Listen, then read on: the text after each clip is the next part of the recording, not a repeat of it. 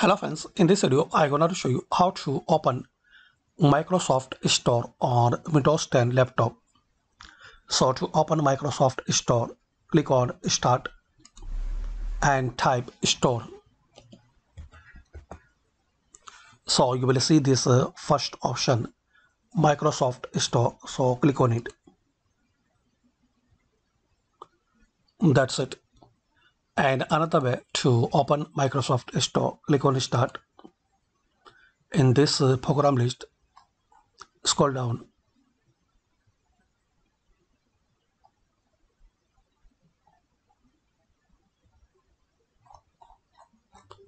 And find out this uh, Microsoft Store.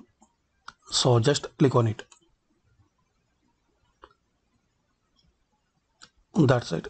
So hopefully friends, you like this video by this quick method we can know how to open Microsoft Store on Windows 10 laptop or PC. Thanks for watching.